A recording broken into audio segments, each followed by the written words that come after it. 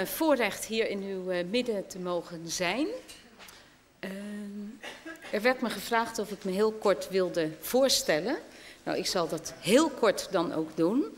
Mijn naam is Annegina van Veen Vrolijk, Gineke, dat is makkelijker. Ehm, ik ben getrouwd, ik heb een zoon van 14. En uh, wat mijn werk betreft, ik ben als docenten verbonden aan de Evangelische Hogeschool te Amersfoort en aan de Evangelische Theologische Hogeschool in Veenendaal. En daarnaast doe ik heel veel schrijfwerk. Uh, belangrijker is dat we elkaar weten wat we van elkaar. Het belangrijkste is te weten dat we elkaar kennen als een kind van de Heer. En wat dat betreft uh, wil ik benadrukken dat ik uitga, en dat is een belangrijk uitgangspunt, van de schrift zoals we die van de Heere God gekregen hebben. De onfeilbaarheid van de schrift waar ik van harte achter sta, die ik ook verdedig, de onfeilbaarheid van de schrift. Uh, en vanuit dat woord willen we ook vanmorgen, door de leiding van onze Hemelse Vader, uh, met dat woord willen we bezig zijn. Het onderwerp van vanmorgen is, zoals u weet, het postmodernisme. En uh, nou kunnen we van dat onderwerp een aantal dingen naar voren brengen. We kunnen daar ook de hele morgen over praten. Maar ik denk dat het goed is dat we stilstaan bij de hoofdlijnen van het postmodernisme. Wat is dat nu eigenlijk? En dan gaan kijken wat zegt het woord van God hierover. Om toch uh, te beginnen en te eindigen met het heilige woord van onze hemelse Vader. En ik wilde met u beginnen vanmorgen met het oog op ons onderwerp, postmodernisme, met een drietal teksten als uitgangspunt te nemen. Uh, vooruitlopend op het, uh, een van de belangrijkste kenmerken van het postmodernisme, dat is het ontkennen van het bestaan van waarheid. Het grote kenmerk van postmodernisme is: er is geen waarheid. Absolute waarheid bestaat er niet. Dat is in een notendop de essentie van het postmodernisme. En alle andere aspecten die daaruit voortvloeien. Nou, met oog op dat belangrijke punt wilde ik beginnen met het woord van onze hemelse Vader te openen en dan een drietal teksten als uitgangspunt te elkaar te ontmoeten.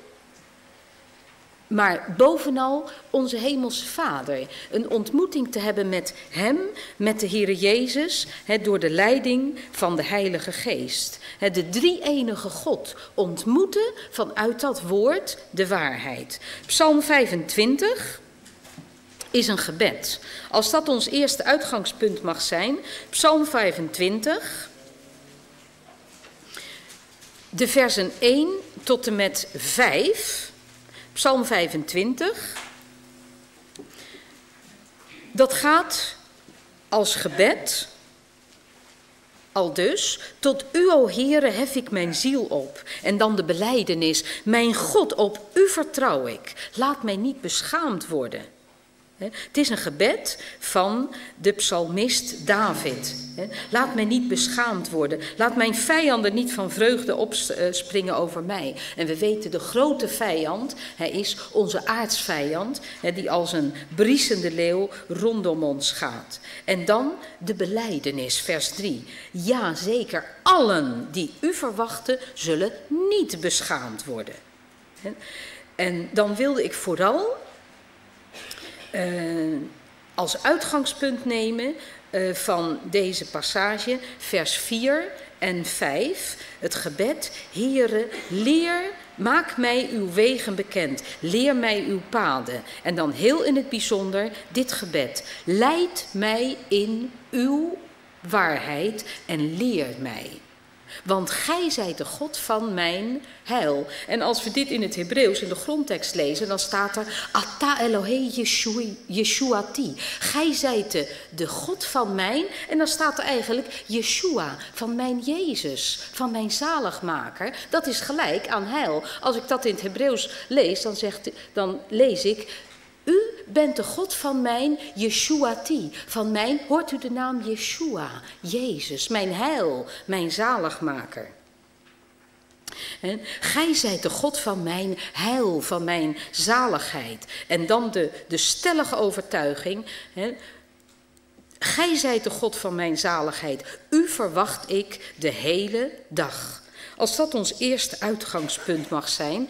En dan in vers, pardon, Psalm 86, een soort gelijkgebed. Hier is het opnieuw dezelfde psalmist, David, die eigenlijk hetzelfde als Psalm 25 bidt. Psalm 86, vers 11. Leer mij, Heere, uw weg, en ik zal in uw waarheid wandelen.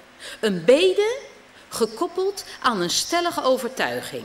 Leer mij uw weg. Als dat ons gebed is, als kind van de Heere. Heere, leer mij uw weg. Maar dan ook de overtuiging. Dan zal ik, als u mij de weg wijst, dan zal ik ook in uw waarheid wandelen. En dan een volgend gebed in vers 11. Een volgend onderdeel van het gebed. Eigenlijk een, mooi, een moeilijke tekst. Want in het Hebreeuws staat er: Maak mijn hart tot een eenheid. De Statenvertaling zegt: Verenig mijn hart. Ja, wat betekent dat eigenlijk? Heere, geef mij een onverdeeld hart. Niet een hart dat verdeeld is. Een stukje van de wereld en een stukje van de waarheid van de Heere God. Een stukje. Nou, laten we het ieder maar invullen. Nee, geef mij een, een verenigd hart, een onverdeeld hart. Heere, verenig mijn hart tot het vrezen van uw naam. dus dat ons gebed. Leer mij, Heere, uw weg. En als we op zijn weg wandelen, dan zal ik ook in uw waarheid wandelen. En dan denken we ongetwijfeld aan de stellige mededeling die de Heere zelf heeft gegeven. Toen hij zei in Johannes, ik ben de weg en de waarheid. Hier zien wij dat die twee zaken, die twee aspecten gekoppeld zijn. Onze weg en de waarheid waarin we wandelen. De weg en de waarheid. Dat is onze heiland zelf. En, Maak mijn hart het tot een eenheid, dat ik uw naam, en er is maar één naam gegeven onder de hemel, waardoor wij zalig kunnen en zalig moeten zijn. Dat is de naam, handelingen, u kent het wel. Hè. Er is geen andere naam gegeven onder de hemel dan de naam van onze Verlosser, de Heere Jezus. En nou, die naam hè, moeten wij vrezen. En dat is geen negatieve, geen negatieve angst, maar een positief ontzag. Dat is eerbied, ontzag voor die naam. Niet bang zijn, nee, positieve eerbied. Dat betekent bij alles denken, Heere, is dit uw wil? Heere, is dit uw weg? Heere, wandel ik nu in uw vrezen? Dat betekent, bedroef ik u niet? Ga ik niet tegen uw geboden in? Dat is de vrezen van zijn naam. Bij alles denken, Heere, is dit naar uw wil? Nou, als we die teksten als uitgangspunt nemen, en ik zei we nemen drie teksten als uitgangspunt, en ten slotte wilde ik als naast de twee genoemde psalmen Efeze 1 vers 13 nemen. Efeze 1 vers 13, daar lezen we over, over ons.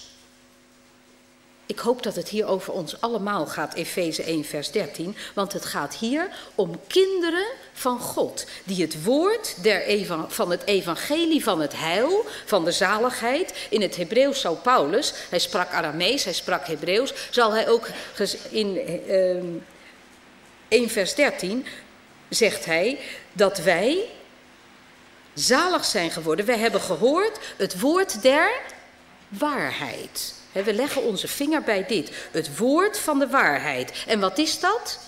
Het goede nieuws van Jezus. Het woord der waarheid is het evangelie van ons heil, van onze zaligheid. En nadat we dat gehoord hebben, zijn we verzegeld met de Heilige Geest der belofte. We zijn dus behouden geworden door het horen van het woord der waarheid. Nou, we hebben zo als inleiding drie teksten genomen die spreken over de waarheid, de weg der waarheid. Het evangelie van onze zaligheid is het woord der waarheid. Nou. Ehm, als we nu naar ons onderwerp gaan, postmodernisme, dan moeten we deze teksten in ons achterhoofd houden. De waarheid. Jezus is de waarheid. Het woord is de waarheid. Het evangelie van ons heil is de waarheid. En dan gaan we al voelen dat daar een conflict is. Als we al zeiden, het postmodernisme wordt gekenmerkt door het ontkennen van het bestaan van waarheid. Het is een breed onderwerp. En ik wilde het met u behandelen. Uh, uitgaande van drie onderdelen. En nu heb ik een klein probleem, want ik ben een beetje ambulant tussen de microfoon en de overhead-projector, maar we komen er wel uit. Uh, drie onderdelen. Uh, als eerste punt 1, ik had het willen aanwijzen, maar dan ben ik denk ik niet hoorbaar. de inleiding. De inleiding en dan punt 2 en 3. U kunt het wel lezen. Uh, als eerste dus de inleiding. Uh, wat is het uh, postmodernisme? Nou, daar hebt u al het nodige van kunnen lezen in het stukje wat ik heb geschreven voor de cursus. de historische achtergrond, de kenmerken, de, de omvang. Wat is nu postmodernisme? Uh, wat zijn de consequenties daarvan? Als heel belangrijk punt, het postmodernisme en het christendom. Uh, daarvan gaan we dan kijken wat zijn de gevaren. En dat kun je weer opsplitsen met betrekking tot de individuele gelovigen, persoonlijk, maar ook met betrekking tot de hele gemeente van Christus. Problemen voor de evangelieverkondiging. En uh, tenslotte als teken der tijden. Uh, ik zie het als een teken van de tijd. Het postmodernisme als een isme, zoals er al zoveel ismen zijn geweest, als een teken der tijden. Maar dan wel een negatief teken. U kunt zeggen, nou, uh, een teken kun je positief ombuigen door te zeggen, alle negatieve tekenen der tijden zeggen mij, de komst van onze Here is nabij. Dat zou het enige positieve zijn als je gaat aftellen. We weten niet wanneer de Heer komt, we mogen het ook niet berekenen, maar alle tekenen zeggen zijn komst is nabij. Nou, als teken der tijden onder hoofdstuk, oh, hoofddeel 3 het postmodernisme al en de Bijbel, dat is denk ik het belangrijkste waar we bij stil moeten staan. En dat wilde ik doen onder de noemer: Er is niets nieuw onder de zon. En dan wilden we gaan, wil ik met u gaan kijken. Het postmodernisme, ja, dat is zo actueel, maar wat zegt de Bijbel er nu over? Zien we al aspecten van postmodernisme? in de Bijbelse tijd. Ik meen van wel. Waarom? Omdat prediker zegt, dat heb ik daar ook opgeschreven, er is niets nieuws onder de zon. En daar ga ik van uit. Dus alles wat we om ons heen zien, is niet zo nieuw. Alleen de wijze waarop het zich aan ons voordoet, ja, dat is nieuw. De hele context waarin het zich voordoet, dat is nieuw. Um, ik zal op die sheet met die, uh, dat overzicht uh, opnieuw uh, terugkomen. Maar voordat we naar het postmodernisme gaan kijken, moeten we het historisch plaatsen. En uh, het woord postmodernisme, uh, post betekent na, modernisme, ja, na het modernisme. Dus dat is de tijd na het modernisme. En dan moeten we het eigenlijk historisch gaan benaderen.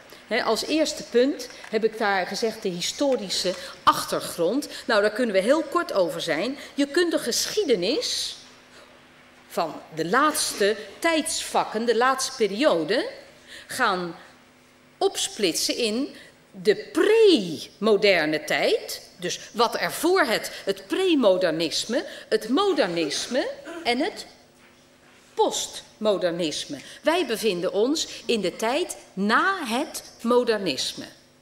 Daarvoor heb je het premodernisme en dat zijn in grote lijnen de middeleeuwen.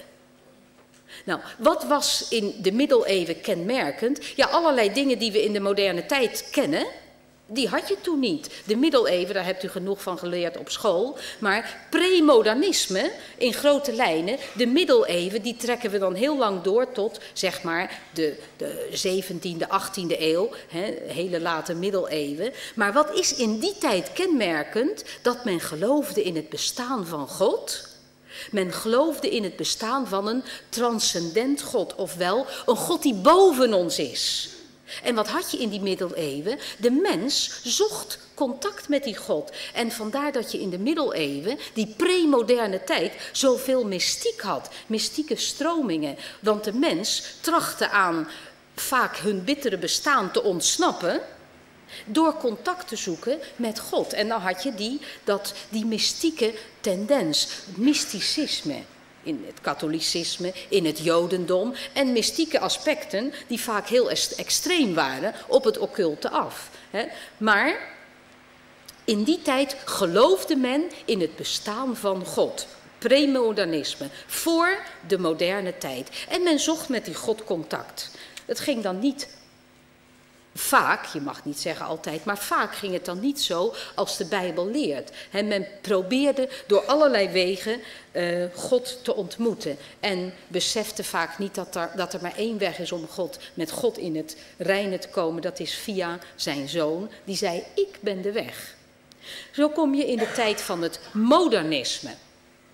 Modernisme, om het postmodernisme, dus wat op het modernisme volgt, om het postmodernisme te begrijpen, moeten we iets weten van het modernisme. En we gaan natuurlijk niet ten volle uitdiepen wat het modernisme is. Maar in grote lijnen, wat is kenmerkend voor het modernisme? Men ging langzamerhand omslaan van het geloof in het bestaan van God, het ontkennen dat er ene God stond. Kenmerkend voor het modernisme is het denken, de, de ratio, het verstand werd verheerlijkt. Werd zelfs, in Parijs, werd het verstand als godin vereerd. De tijd van het ratio, verstand, van de verstandelijkheid. Alles moest je kunnen beredeneren. En wat je niet kon beredeneren, dat bestond dus niet. De tijd waarin men geloofde in uh, het oppermacht van het verstand. En het verstand ontkende het bestaan van God. Er was een cultuuroptimisme als eerste puntje. Men geloofde dat de cultuur en het verstand, dat dat alles wel kon maken. Dus optimistisch. Men dacht, in tegenstelling tot de middeleeuwen, tot het premodernisme, men dacht optimistisch. We zullen het allemaal wel zelf kunnen maken. Wij mensen met ons menselijke verstand. En God werd aan de kant gezet. Cultuuroptimisme, vooruitgangsdenken. Ja, er werd steeds meer uitgevonden. In de 18e eeuw, 19e eeuw, hè, werden allerlei dingen uitgevonden. Er was dus een cultuuroptimisme en een vooruitgangsdenken. Er was rationaliteit. Een tendens, vierde punt, om alles wat je zag verstandelijk, rationeel te benaderen. Alles moest je beredeneren. En de gedachte ook om alles wat er was tot één grondidee terug te brengen. Wat vooral belangrijk is, men dacht in één absoluut en totaal totalitair wereldbeeld. Er is maar één wereldbeeld en dat wordt beheerst door het verstand. Alles is gebaseerd op het systematische, verstandelijke denken. Er werden heel veel uh, gedachtensystemen ontdekt, hè, uit, uh, ontwikkeld. Allerlei vormen van systematisch denken. En je hebt er goede dingen in gehad. Maar ook hele verkeerde dingen. Want uiteindelijk kwam men op het punt dat men God ging uh, wegdenken. Het verstandelijke denken beredeneerde: God bestaat niet. God is er niet. En dan kom je uh, in de tijd van de verlichting. Hè. De verlichting uh, ontkent het bestaan van God. De verstandelijkheid overheerst. En dan tenslotte, het laatste punt wat u daar op de sheet ziet. Descartes zei, ik cogito ergo sum. Ik denk, dus ik besta. dat was zijn redenatie. Als je kunt denken, dan besta je. Maar God bestaat niet. Alles werd verstandelijk beredeneerd.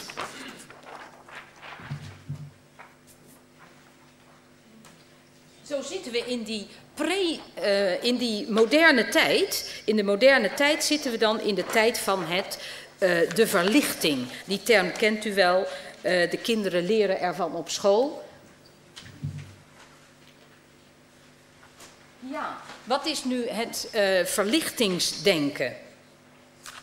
Het verlichtingsdenken heeft geen plaats voor God verlichtingsdenken, daar is alleen maar vertrouwen in de mens en in het kunnen van de mens, in de mogelijkheden. God is niet meer nodig. Met God en zijn woord wordt niet meer gerekend, want men denkt, men rekent alleen maar met de verlichting van het verstand.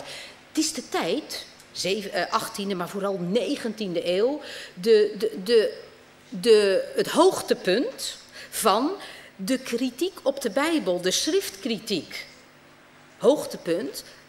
Als bijbelgetrouwe zeg je nee, het dieptepunt. De, de kritiek op de schrift hè, maakte dat men de, het gezag van de schrift afwees. De reden als godin vereerd en de wetenschap met alle ontwikkelingen het beloofde een hele grote toekomst. En men ging bepaalde stellingen naar voren brengen. Bijvoorbeeld, de natuur van de mens is goed. Dat hoor je nog wel. De mens is goed, de mens is niet verkeerd. Je moet hem alleen in een goed milieu zetten. Dan zal de mens zijn goede aard wel laten zien, dan, dan ontwikkelt de mens zich goed. Allemaal tegen de Bijbel in, want wat zegt de mens? Wat zegt de Bijbel? De Bijbel zegt, Paulus zegt, we zijn allemaal zondaars, ontvangen en geboren in, in zonde. En er is maar één weg om uh, het eeuwig leven te ontvangen, dat is door Jezus Christus. Maar de mens is niet goed. Nee, zegt de tijd van de verlichting. De mens, de natuur van de mens is goed. Paulus zegt nee, er is geen enkel mens goed. We zijn allemaal verloren zondaren. Men acht de vooruitgang heel hoog. En men gelooft dat is een heel belangrijk punt, in een objectieve waarheid. Men gelooft dat waarheid objectief, beredeneerd, uh, bestaat. Alles is waar als je het maar kunt bewijzen. Dus waarheid bestaat, maar je kunt het bewijzen. Dus je kon uh, in de tijd van het modernisme op grond van bewijzen met iemand in gesprek gaan, in dialoog en zeggen: ja, maar kijk eens om je heen. Ik kan bewijzen dat God bestaat. als je de schrift niet gelooft, maar kijk eens om je heen. Uh, ik kan bewijzen dat de schrift betrouwbaar is. vanuit de wetenschap kon je dingen beredeneren, dingen bewijzen. En zo zijn er ook mensen tot geloof gekomen. Uh, en je had wat nu wordt genoemd de grote verhalen. Je kon uh, grote verhalen naar voren brengen op grond waarvan je alles kunt verklaren, op grond waarvan je dingen kunt begrijpen. De tijd van het postmodernisme is een reactie daarop. Uh, dus we houden even vast in het modernisme. Men gelooft in het bestaan van een werkelijkheid. Men gelooft in het bestaan van een waarheid, maar je moet hem kunnen bewijzen. Dus vanuit de archeologie. Ik heb in, in 20, 30 jaar als wetenschappelijk heel wat, wat discussies gevoerd. Ook met medestudenten vanuit de archeologie, vanuit andere wetenschappen. Hè. Kun je laten zien, ja maar kijk eens, er, er kan niet zoiets als evolutionisme bijvoorbeeld bewezen worden. Maar ik kan wel bewijzen vanuit andere uh, invalshoeken dat God bestaat, dat er een schepper is geweest. Tegenwoordig in het postmodernisme zegt men, kan niet meer. Want men gelooft niet meer, zoals in het modernisme, dat een waarheid mogelijk was. Men gelooft niet meer dat waarheid bestaat.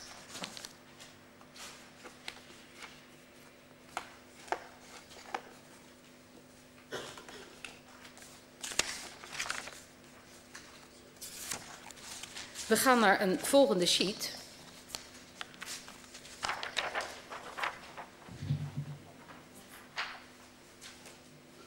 De kenmerken.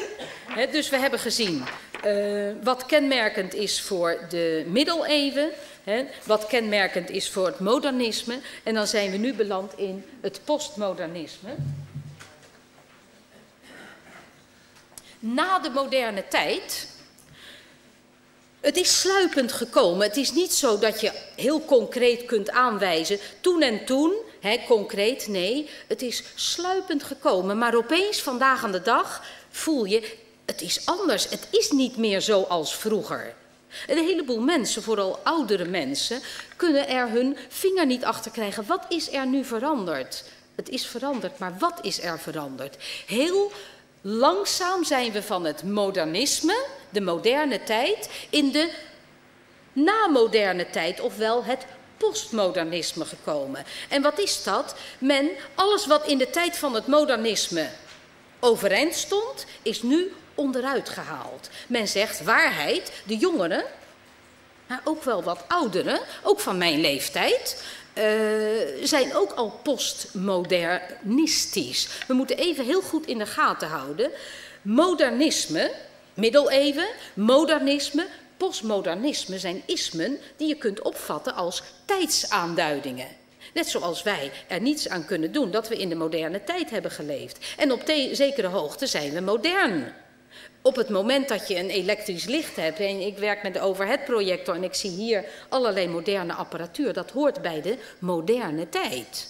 Maar daarom ben ik als persoon, en hoop ik dat wij allemaal als christenen, niet modernistisch zijn. Dus we moeten dat verschil maken tussen modern en modernistisch. We zijn kinderen, mensen van onze tijd. We staan in een wereld. Alleen we moeten niet van de wereld zijn. Dus als je moderne middelen gebruikt, zoals we hier zoveel zien, alleen de elektriciteit al, en de auto die we gebruiken en zoveel dingen, dat is, hoort bij de moderne tijd. Alleen we zijn niet modernistisch zoals uh, zoveel die in de evolutie denken. De modernistische theologie, die gelooft uh, niet meer in het gezag van de schrift, de kritiek op de schrift. Hè, uh, dat is modernistisch. En zo kun je ook het postmodernisme benaderen. Een heleboel mensen, een heleboel dingen zijn postmodernistisch, ofwel postmodern, sorry, dat hoort bij de postmoderne tijd. Bijvoorbeeld, als ik mijn pc gebruik en ik e-mail met iemand, dan is dat een postmodern middel.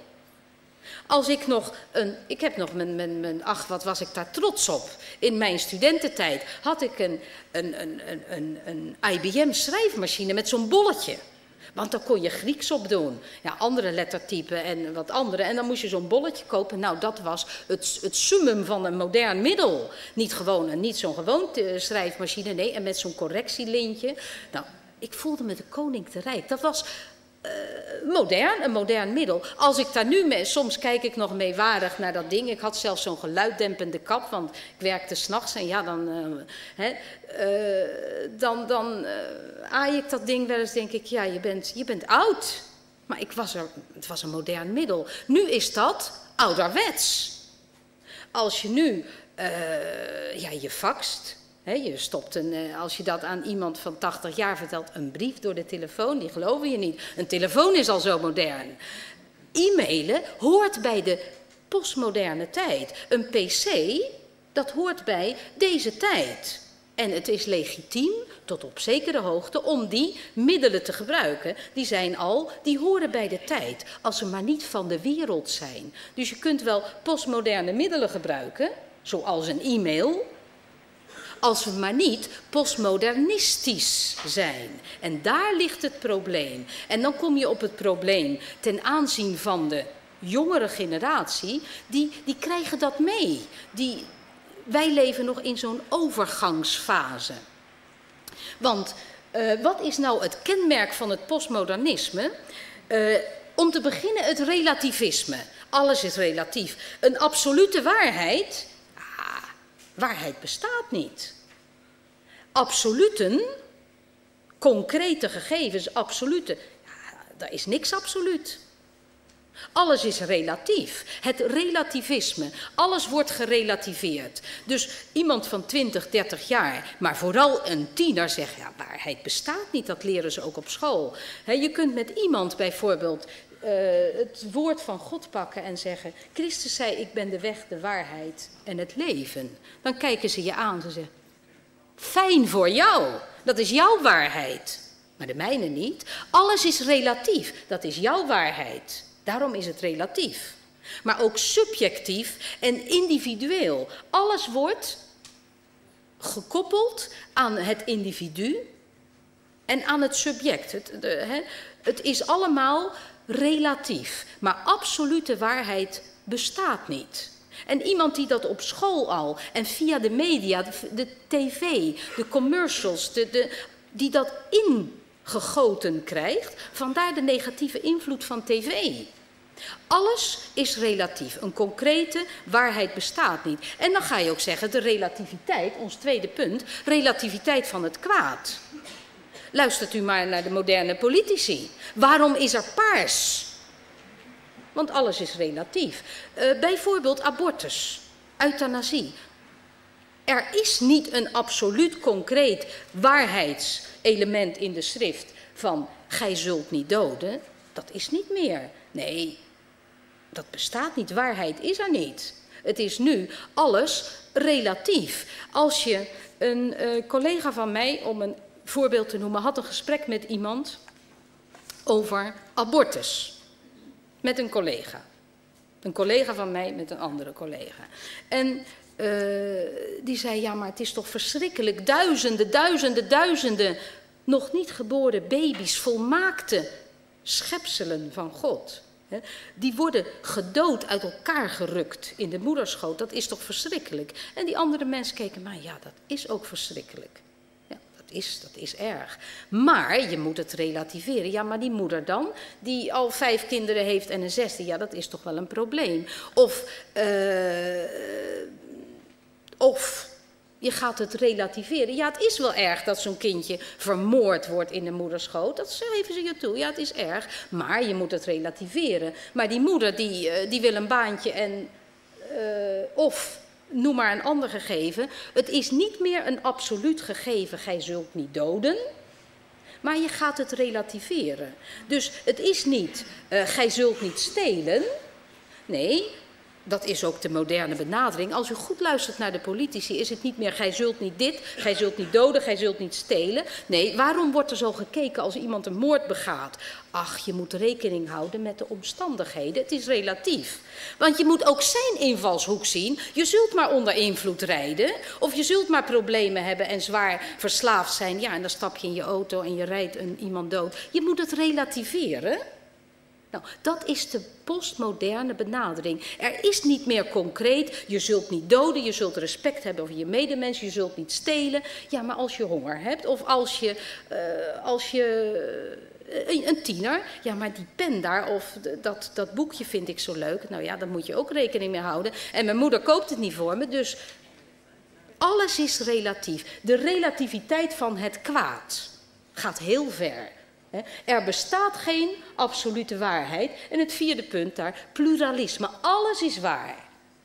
Het postmodernisme zegt alles is waar, want een absolute waarheid bestaat niet. Voelt u het conflict als je dan komt met dit woord van God, die zegt ik ben de waarheid, zeggen ze ja, maar dat is leuk voor jou. Het wordt je teruggeworpen.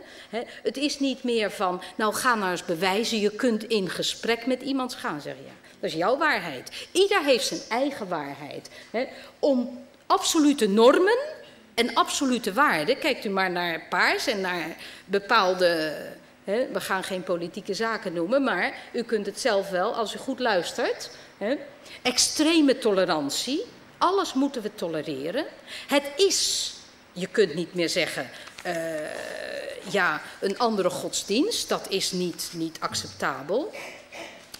Je, moet uh, toch tolereren dat een ander ook zijn eigen God heeft. Extreme tolerantie en subjectivisme, ofwel alles is subjectief.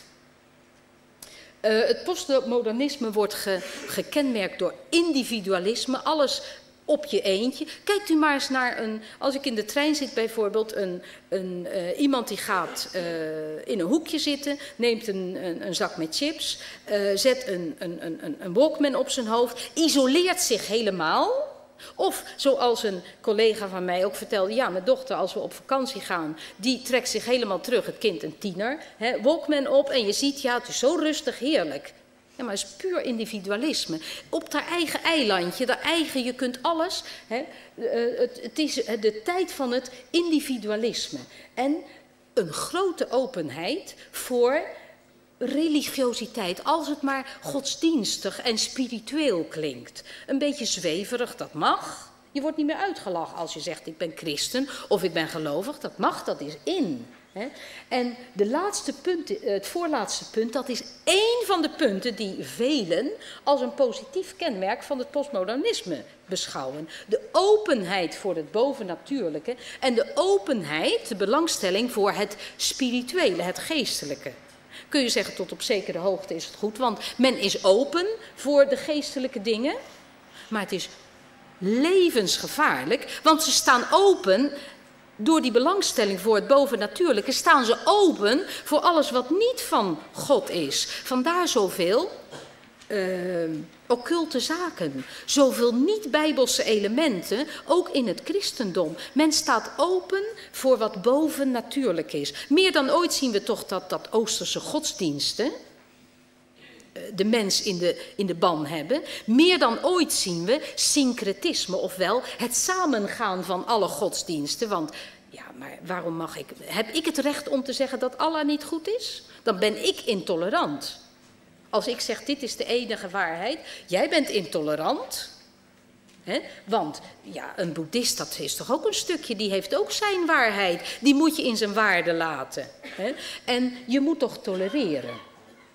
Dus die, die laatste drie punten, de, de religiositeit, de openheid voor het bovennatuurlijke en het laatste punt wat op de sheet staat, geen, uh, geen, geen verschil meer, geen duidelijke criteria die aangeven dit is goed en dit is kwaad. Dit mag wel en dit mag niet, want er, er, zijn, geen, er zijn geen absolute waarheden meer.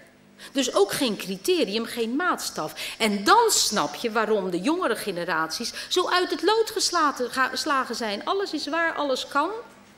Als ik nu op de Bijbelschool studenten krijg uh, van 18, zelfs tot 20 jaar, dan uh, kost het heel wat om ze in het gareel te krijgen. Want ze komen van scholen waar ze dat niet, als ze niet van een, een, een orthodoxe school komen, hè, uh, ze krijgen geen normen en waarden meer mee. En uh, alles is uh, individueel.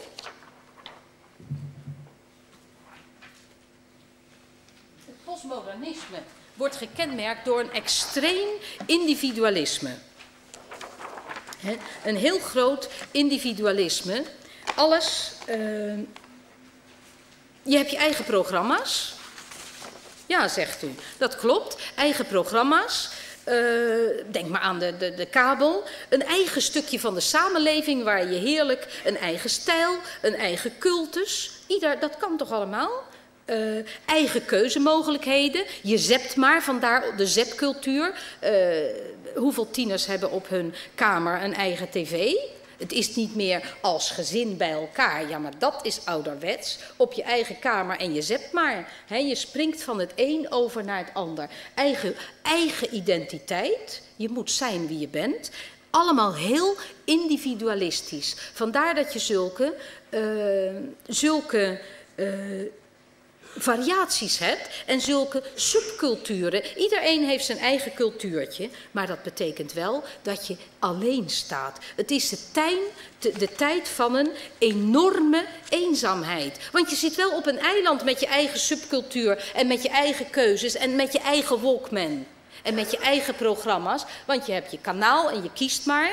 En via internet is de wereld een dorp geworden. Vandaar dat je ziet dat het postmodernisme, de samenleving, kun je met deze uh, kenmerken aanduiden.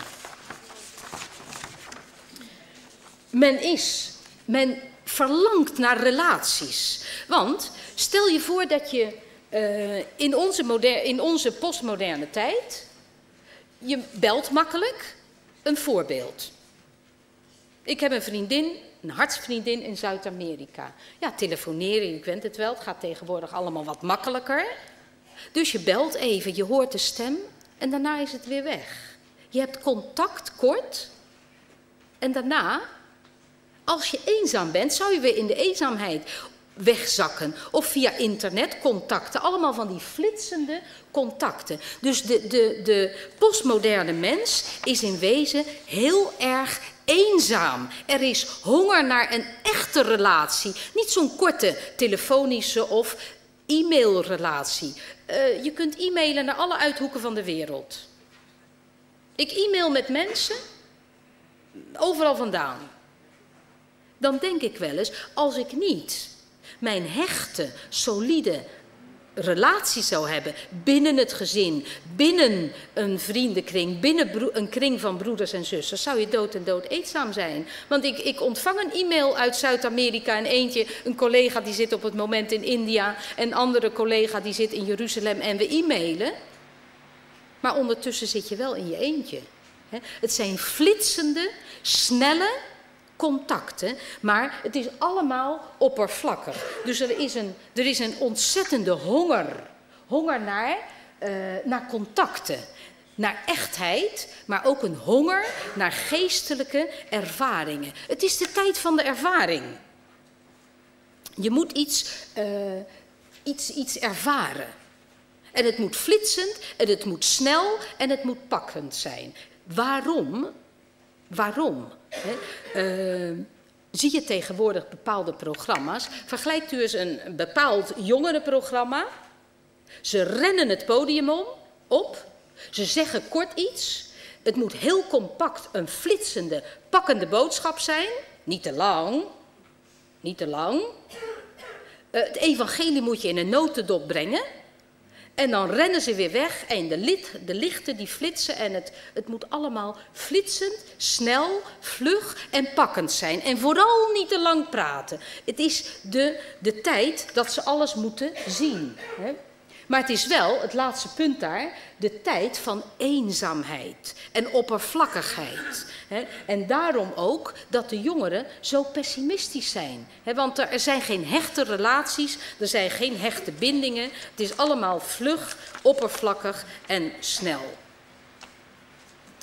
Uh, vooral is men uit op uh,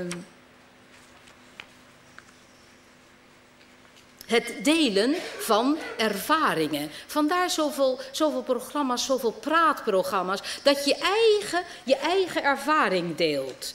Uh, een voorbeeld. Een, uh, ik had een gesprek met een meisje, dat is een concreet voorbeeld zo uit de praktijk. Heel lief kind, was tot bekering gekomen, ging naar een bijbelstudiegroep. Uh, en ze vertelde me enthousiast, nou, we hebben een bijbelstudie twee weken geleden, fijne bijbelstudie gehad. Ik zeg, leuk joh, fijn. Waar ging het over? Over Johannes. Ik ben de wijnstok, hè, die tekst van Johannes, dat de Heer zegt, ik ben de ware wijnstok, jullie zijn de ranken. Johannes 14, dacht ik. 15. Uh, Johannes 15. Ja, Fijn. Uh, en hoe, hoe, hoe, was dat? Nou, we hebben erover gepraat en het was heel fijn. Het is de tijd van het gevoel en van de ervaring en van de oppervlakkige, oppervlakkige, ja, delen van ervaringen en emoties. Het moet allemaal gevoel, emotie, oppervlakkigheid, ervaring. Maar diepgang, voelt u de problemen ten aanzien van het individuele christendom? De individuele christen, als het zo oppervlakkig is, groeien niet. Want nou, dat gesprek zei nou een, ja, mooi deel, bekend deel, maar wat, uh, wat hebben jullie erover gezegd? Ja, nou, we hebben erover gepraat en iedereen heeft wat gezegd. Voelt u het delen van ervaringen? Uh, ja, fijn, maar wat, wat kwam er nou uit na zo'n avond? Nou, we hebben, uh, het voelde heel goed. Herkent u de uitspraak? Het voelt zo goed. Ja, het voelde zo fijn. En uh, nou, iemand zei dat het erg bemoedigend was. Ik zeg, fijn joh, maar wat, wat leer je nou uit dat? Wat heb je ervan geleerd? Nou, we werden er erg blij door. En uh, ja, we hadden een goed gevoel. Nou, dan denk je, ik ben nu al... Uh, je vraagt nog eens maar, wat, wat heb je nou uit dat stuk geleerd? He, Johannes 15. Ja, nou, we hebben, iedereen heeft er wat van gezegd en uh, we waren erg blij en het was. En je draait maar, maar je komt niet tot de kern.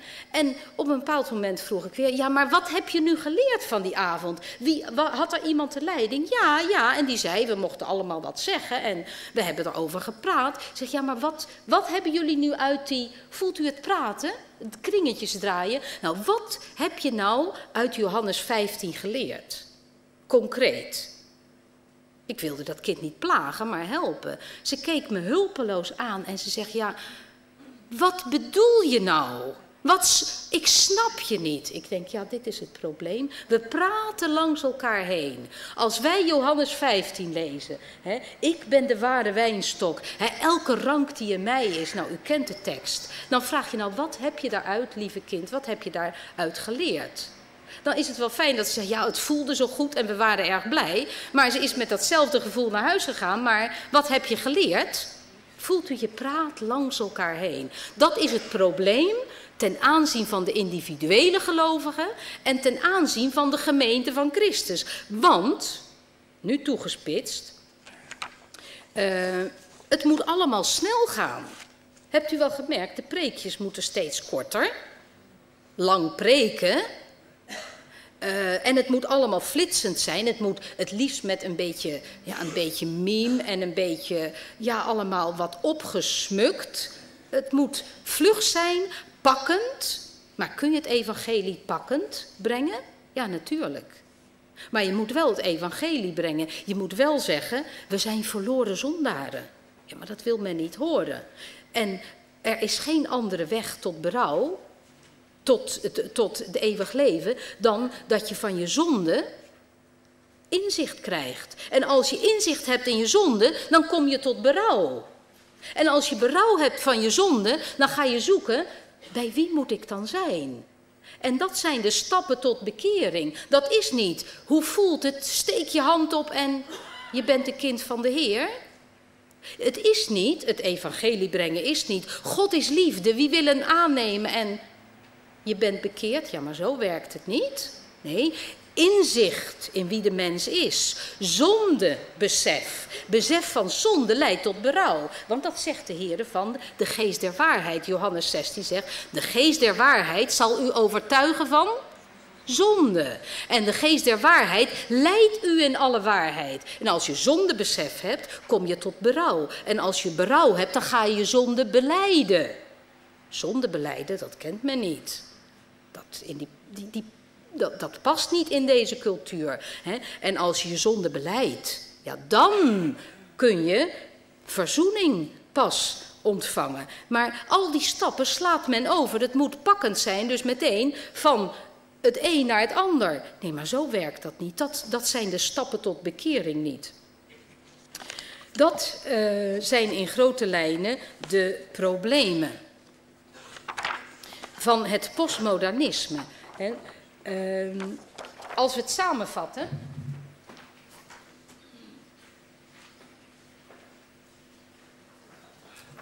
Dan zeggen we het postmodernisme. Die bagatelliseert het verschil in godsdiensten. Want je moet tolereren. Ach, die verschillen, het is een. Uh, je bagatelliseert het zo van dat is niet zo belangrijk. Naast God zijn er heel veel afgoden. Letterlijk afgod. Wat is een afgod? Een idool. Maar het woord afgod zegt van God aftrekken. Het trekt ons van God af. Het niet accepteren van andere godsdiensten, ja, maar dat is intolerant. Praten over hel, wat ik net zei, je hoeft het niet zo bruut te brengen, maar biddend vanuit Gods woord mag het evangelie niet anders zijn dan zeggen, ja, maar als je het woord van God niet aanvaardt, je mag het de hel niet ontkennen. Hè? Je moet het met liefde, met gebed, tactvol brengen, maar Praten over hel is intolerant. Onthechting van mensen. Men leeft op een eiland. Hè. Daarom is er een, een. Men leeft niet meer hecht. Iedereen, dat individualisme, ieder leeft voor zichzelf. En daarom de uitspraak, de eenzaamheid is zo groot. De wereld is een dorp geworden. Ik zei al, eh, je vliegt van het, ene, van het ene plekje naar de andere, je bent er even of je e-mailt, maar het is allemaal vluchtig, snel, oppervlakkig. En zo zijn de jongeren. Alles flitsend, blitsend, snel. Kijk, en absurd. Afbraak van gezin, de samenleving zijn allemaal segmentjes, allemaal stukjes. Het is onthecht, er is geen eenheid, het zijn allemaal stukjes. En zo is het ook in de gemeente van Christus. Allemaal stukjes, een stukje jeugd en een stukje oudere jeugd en allemaal segmenten. Dat is een probleem, er is geen eenheid meer. Ehm, maar nu, als we kijken, het nog meer toegespitst. is het misschien zinnig als, uh, omwille van de tijd, uh, is het misschien zinnig dat we hiervan kopietjes maken? Dan hoeft u niet zo te schrijven. En ik kan, ja? Mag dat? Moet ik even, ja? Oké, goed. Uh, als we hiervan kopietjes maken, maar dit even praktisch. Het zijn dan wel praatstukken. Het zijn af, geen afgeronde gehelen, maar uh, het is voor mij mijn praatstuk. Dan hoeft u niet al die punten op te schrijven en wij kunnen de tijd beter benutten. Dus mag die nu weg? Ja.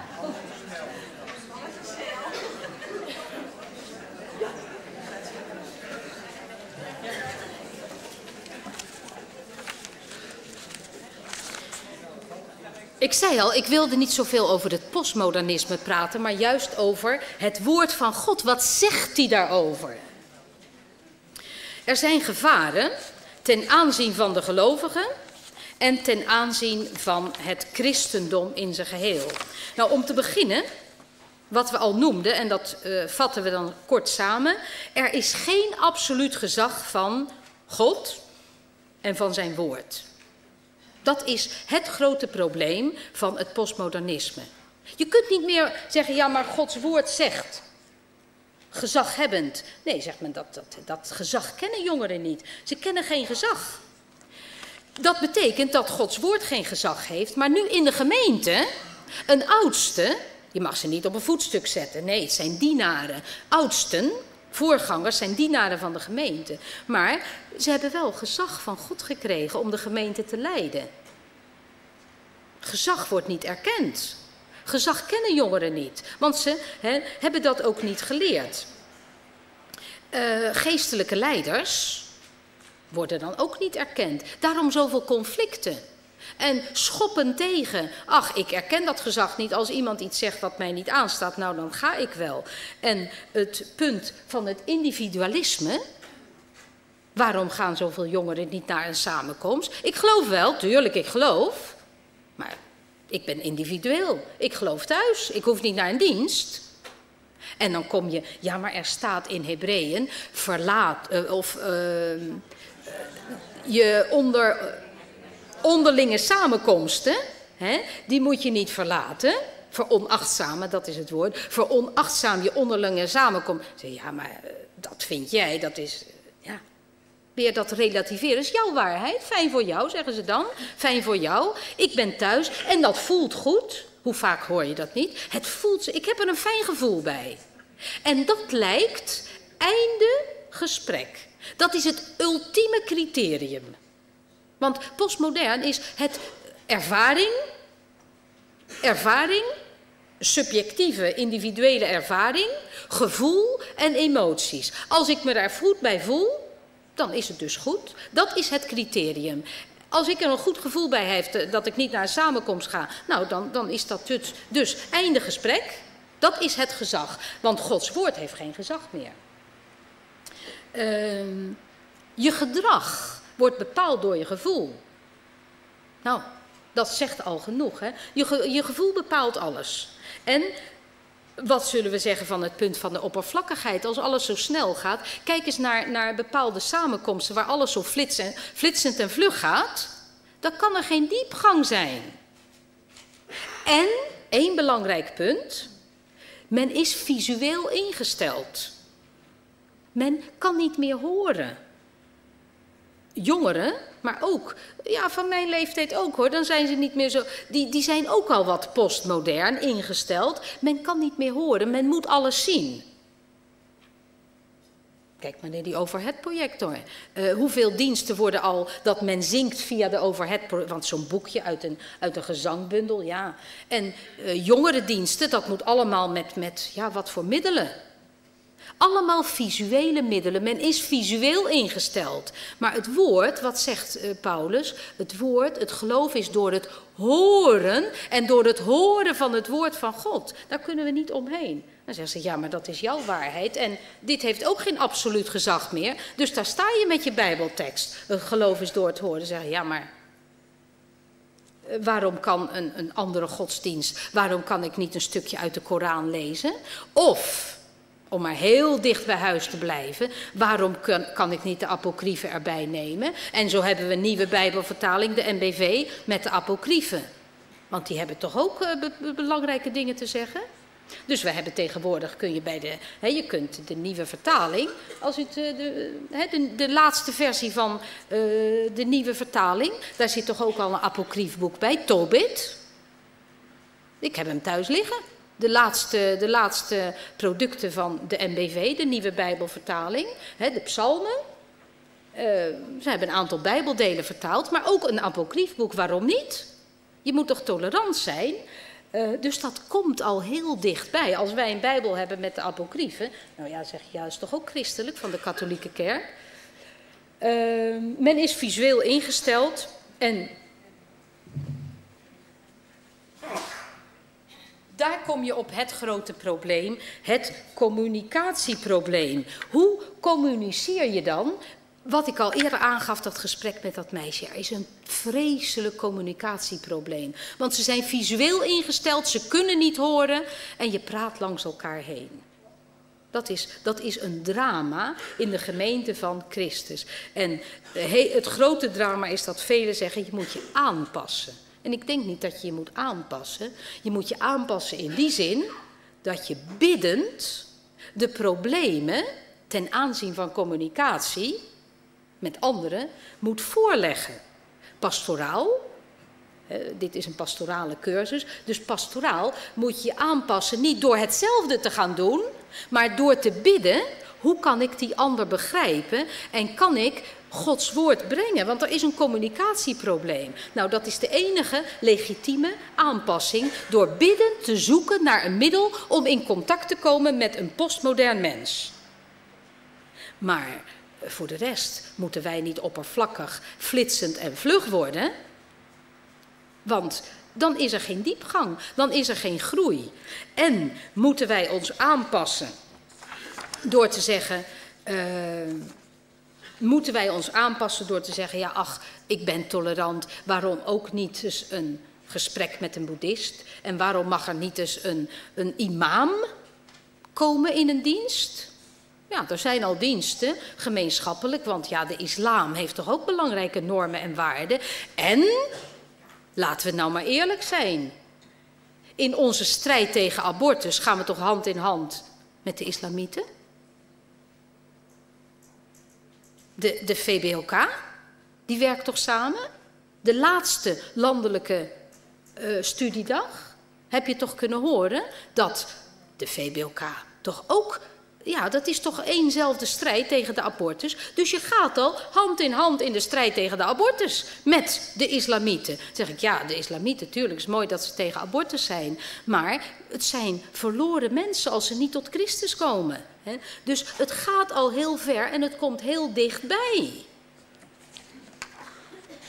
Syncretisme heet dat. Het samengaan van godsdiensten. En het openstaan, als we nu samenvatten, het postmodernisme, en dan gaan we kijken wat zegt de Bijbel ervan. Want we zeggen, er is niets nieuws onder de zon. Niets nieuws onder de zon. Dat zegt prediker. Dat betekent dat alles wat ik nu heb genoemd, het klinkt misschien nieuw, ja, al dat flitsende en snelle en oppervlakkige. Het is niet nieuw, alleen de manier waarop het gebracht wordt, al die kenmerken bij elkaar worden gebracht, dat is het postmoderne, het nieuwe. Maar syncretisme, het samengaan van godsdiensten, occultisme,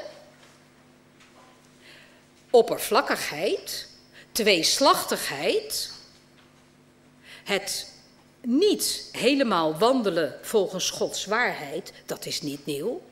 Er is niets nieuws onder de zon. En we zeiden, ons derde punt van vandaag was postmodernisme en de Bijbel.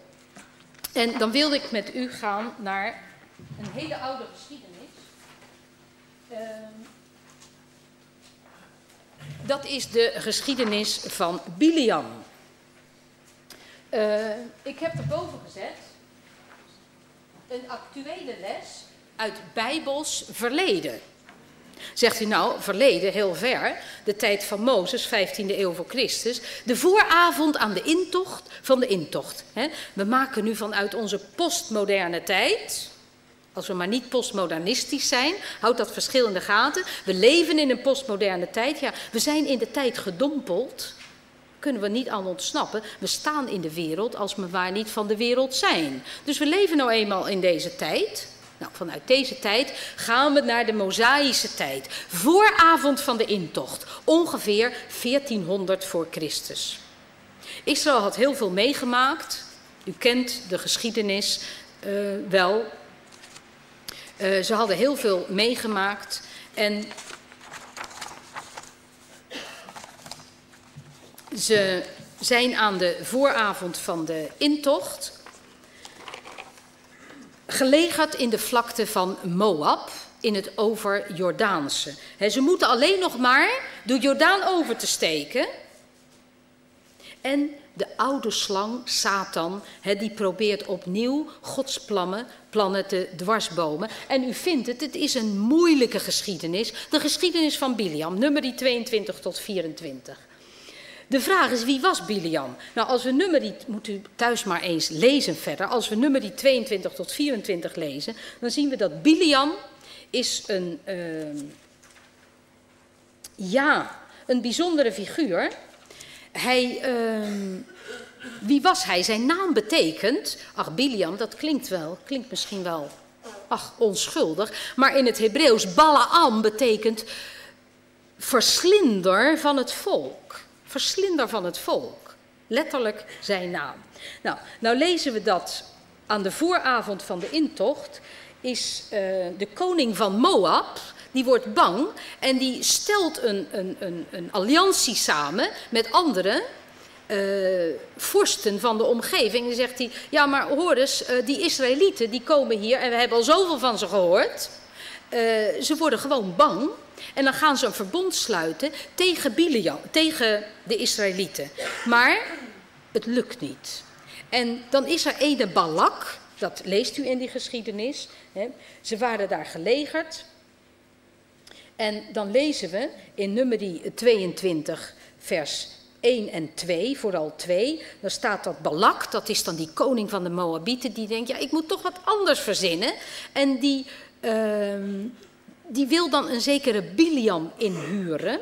En dan huurt hij hem in om Israël te vervloeken. Men geloofde in die tijd dat je iemand kon vervloeken. En als je hem vervloekte, dan ging het hem ook helemaal verkeerd.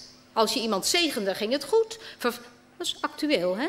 Dat, ik zei al, er is niets nieuws onder de zon. Nou, uh, vervloekingen, dat deden de Egyptenaren ook.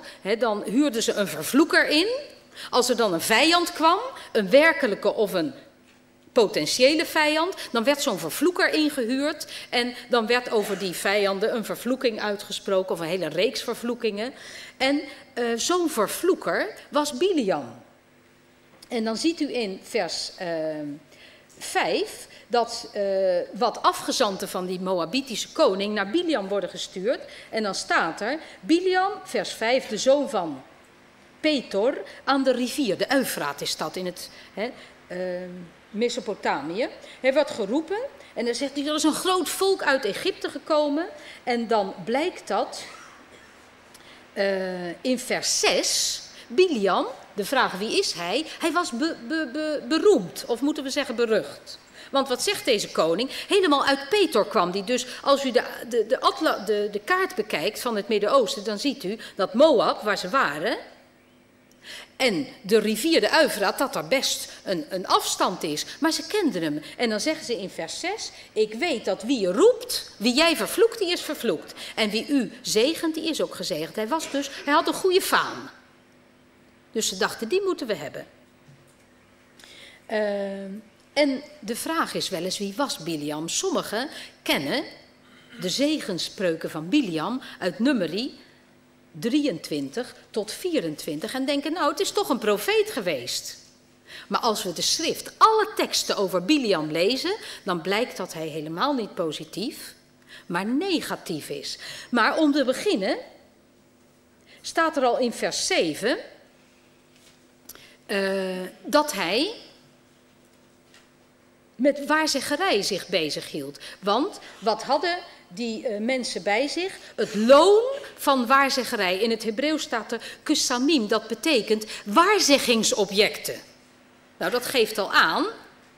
Uh, van ze kenden hem als iemand die met waarzeggingen bezig had. Herkent u het? Er is dus niets nieuws onder de zon. Uh, en als u de geschiedenis leest, dan zien we dat Biliam, als ze komen tot Biliam, dan zegt hij in eerste instantie, hè, uh, in vers 8, nou blijf nou vannacht bij me, dan zal ik je morgen een antwoord geven. En nu komt het, het gemene, het giftige. Kijkt u eens wat er in vers 8 staat. Hij zegt dan heel hypocriet, en dat is heel, heel actueel, van twee walletjes eten. Ogenschijnlijk spiritueel, geestelijk. Blijf dan vannacht bij me. En dan gebruikt hij zelfs de naam, de allerheiligste Godnaam. Wat de Heere tot me heeft gesproken, dat zal ik je vertellen. Dus het is iemand die met God omgaat, vandaar mijn vraag, is hij nou occult of godvrezend? En de volgende dag zegt hij dan, dan komt God tot hem s'nachts in vers 9. Uh, eh, Biliam, wie, wie heb je daarbij in je huis? Ja, hij zegt dan. Hè, en dan zegt hij, de Heere God zegt dan tegen Biliam in vers 12. Je zult niet deze mensen vervloeken. En wat staat er aan het einde van vers 12? Want het is gezegend.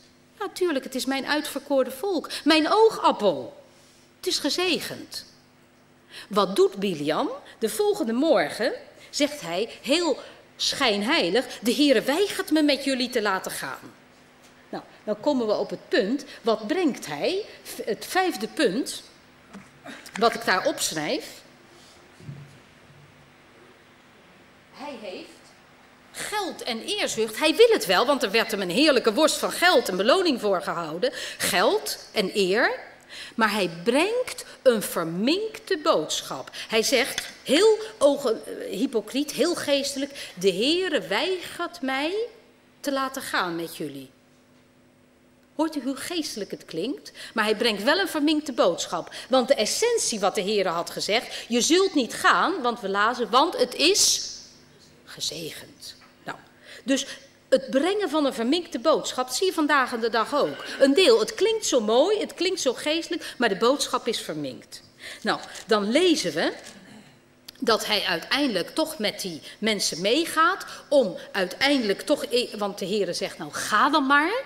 Op een bepaald moment zegt de Heer ga dan maar. Maar u kent misschien wel de geschiedenis. Tot drie keer toe komt de engel van de Heer, dat lezen we in nummer 22, tot drie keer toe, herhaaldelijk, komt de engel van de Heere op de weg van Biliam. Want met de Heere kun je niet spotten. Jij wilt mijn volk, mijn uitverkoren volk vervloeken?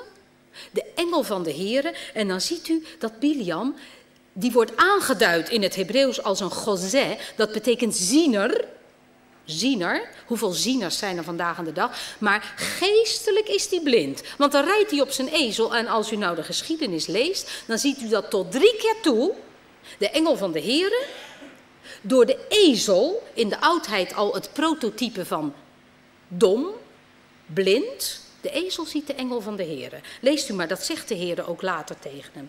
En de ezel die wil niet verder, die schrikt voor de engel van de Here. De ziener is blind, maar de ezel ziet het. En dan gaat hij die ezel uiteindelijk nog slaan en dan uh, uiteindelijk gaat de Heere door die ezel, door die ezelin, sorry, ezelin, Biliam vermanen. En dan krijg je die geschiedenis. Uh, in nummer 22, vers 27 staat: de, ezel, de ezelin, die zag de engel van de Heere. En gaat ze onder Biliam liggen. Ja, ze wilde niet verder, want ze schrok van die engel. En dan wordt Biliam razend, hij slaat dat dier. En vers 28 staat, de Heere opende de mond van de ezelin. En dan gaat ze tegen Biliam praten, je hebt me driemaal geslagen. En dan wordt Biliam nog woester, jij bent mijn ezel. En zeggen, kan een ezelin praten? Kan een dier praten? Nee, natuurlijk niet. Een dier praat niet. En dan moeten we ons ook niet in het nauw laten drijven. Hè, van, je gelooft toch niet dat een beest praat? Nee, natuurlijk niet. Maar dat zeg ik ook niet. Ik zeg ook niet dat een ezel praat. Ik zeg alleen maar dat het absoluut waar is wat hier staat. En hier staat, niet dat een ezel praat, nee, hier staat, de Heere opende de mond van de ezelin, dus hier staat een wonder.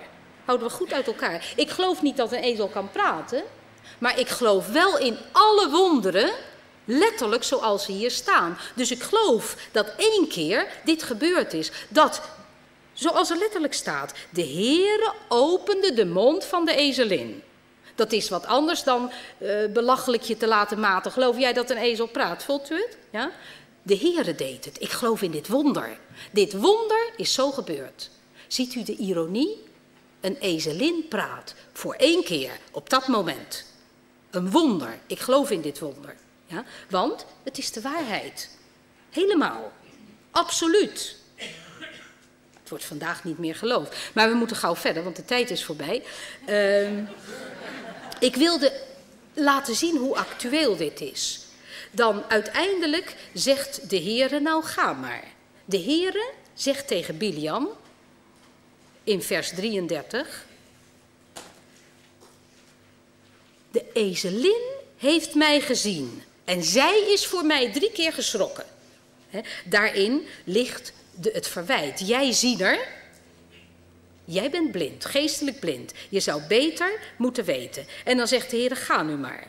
En dan gaat hij. En dan leest u in nummer uh, 23 en 24, maar vooral 23, dat tot drie keer toe probeert Biliam Israël te vervloeken. Ja, natuurlijk, Balak had gezegd: vervloek mij dit volk en ik zal je rijkelijk belonen en ik zal je eren. Dus geld en eerzucht. Ziet u hoe actueel het is? Geld en eerzucht. Wonderen uit de boze, occultisme en het samengaan van godsdienstige elementen. De heren dienen, dienen, ja, zogenaamd. De heren dienen, de heren raadplegen. Wat, wat moeten we van Biliam zeggen? Want in nummer 24 vers 1 staat, toen hij zag dat hij Israël, uh, dat hij het mocht doen, ging hij niet zoals andere keren tot de toverijen. Want hij probeerde het tot drie keer toe en het lukte maar niet.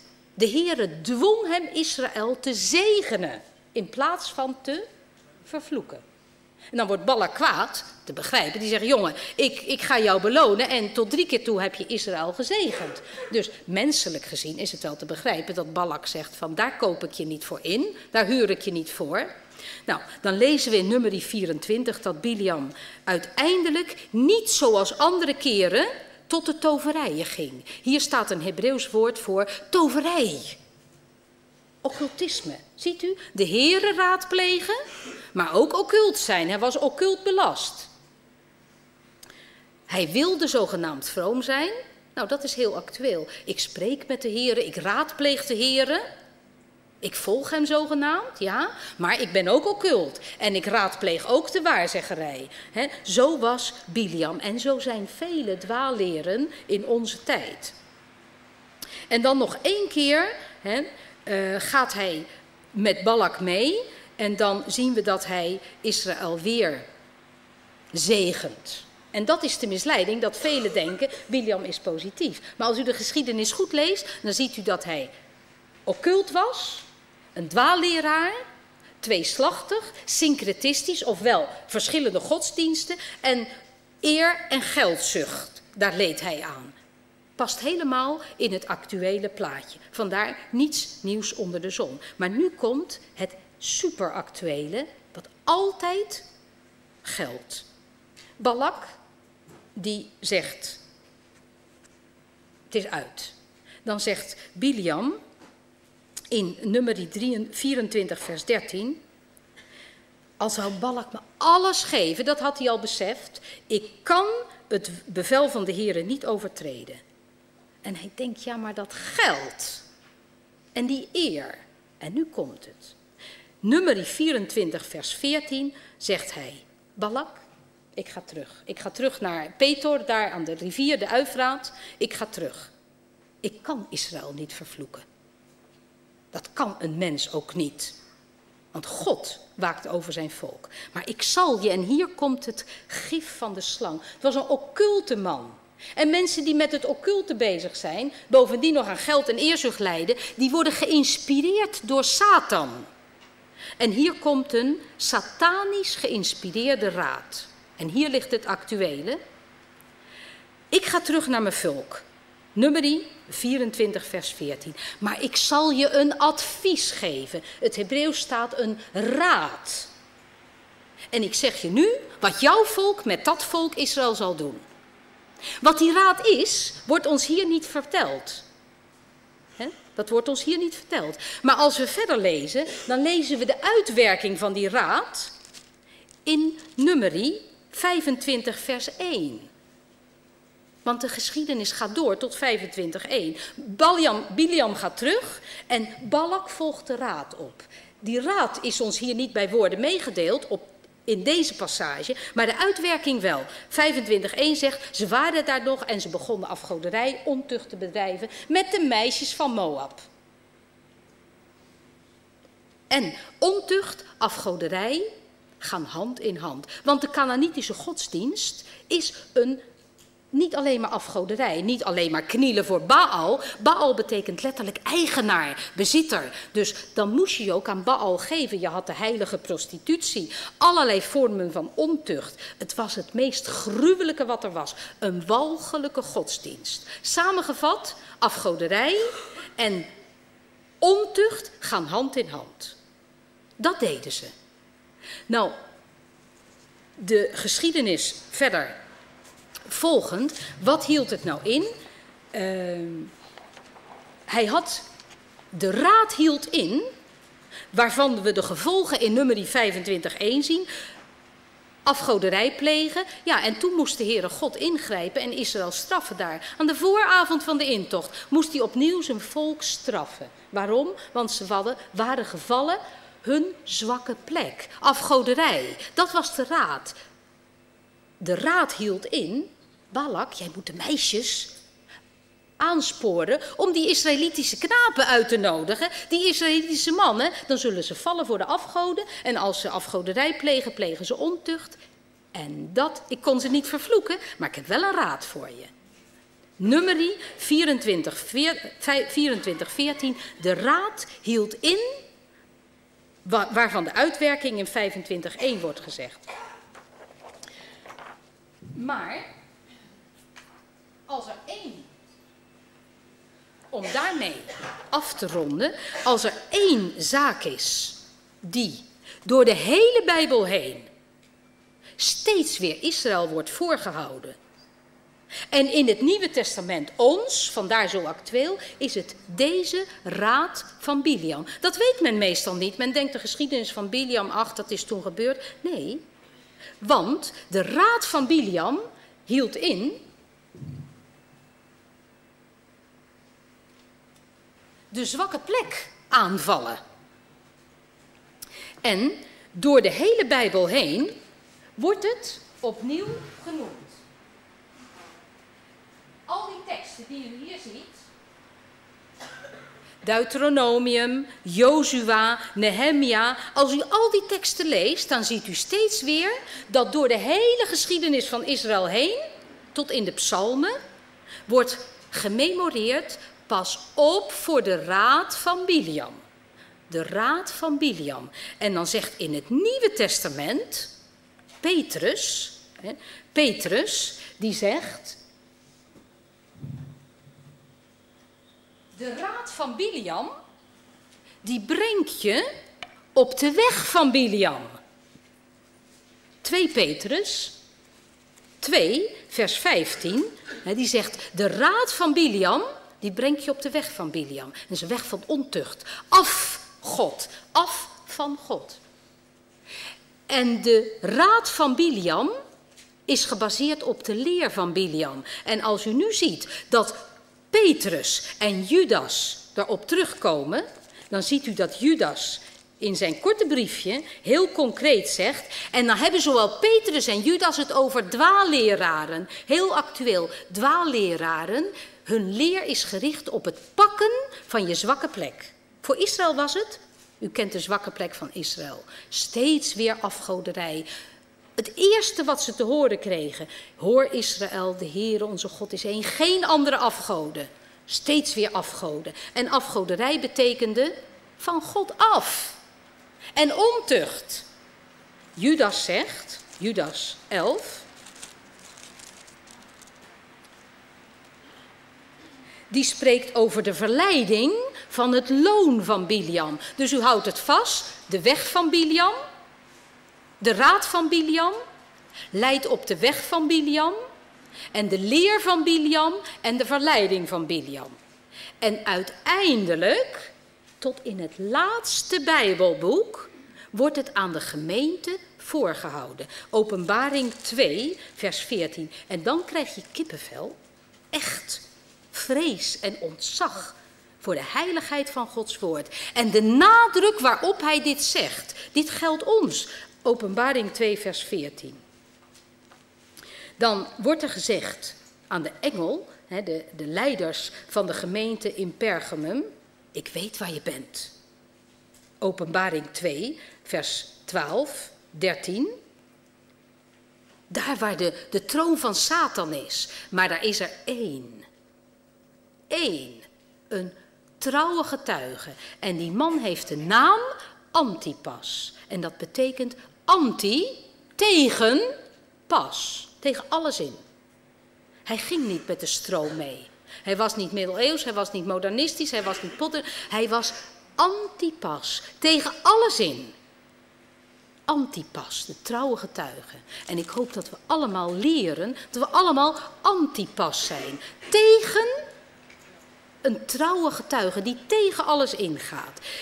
Jullie zijn trouw, maar ik heb daar, daar is, daar is die antipas. Maar jullie hebben één belangrijk punt, meerdere punten. Maar wat hebben jullie daar vooral? En hier zien we hoe actueel het is. In de gemeente van Christus kan de leer van Biliam komen. Hier zien we de leer van Biliam. En wat was de leer van Biliam? Heel concreet samengevat, de leer en de raad van Biliam was een gelovige, want dit is al de, de nieuwtestamentische gelovige, de gelovige pakken op zijn zwakke plek. Israël was de zwakke plek, vreemde vrouwen, af, afgoderij, ontucht. Wat is mijn zwakke plek? Paulus zegt, Efezes 5, de, de wapenrusting, hè, het einde. We hebben niet te strijden tegen vlees en bloed, maar tegen overheden, tegen de boosheden in de lucht, tegen Satan die zijn pijlen afvoert, niet op mijn sterke kant, als ik die zou hebben, als ik die al zou hebben, maar hij vuurt zijn gifpijlen af op ieder zijn zwakke plek of plekken. En dat is de leer van Biliam. Wat leerde die aan, aan Israël? Een, in het, in het Grieks staat hier een scandalon voorzetten. Scandalon is, het wordt wel vertaald met aanstoot, is een val. Hij leerde ze een aanstoot, een val voor te zetten. Namelijk dat ze, voor ze te zetten dat ze zouden vallen. Val verzekerd, succes verzekerd, dat wist Biliam.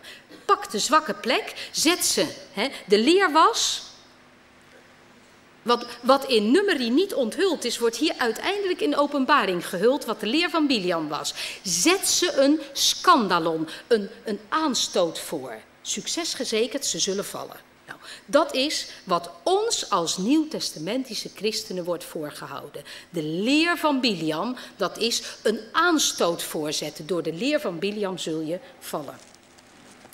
Uh, we vatten samen, er is niets nieuws onder de zon. We hebben gezien wat de kenmerken zijn van het postmodernisme. En al die kenmerken vind je in de leer van Biliam terug. Occultisme, syncretisme, heulen met de waarheid. En om dan met Gods woord te eindigen, zoals we deden. He, uh, de Heere, onze God, is een God van waarheid.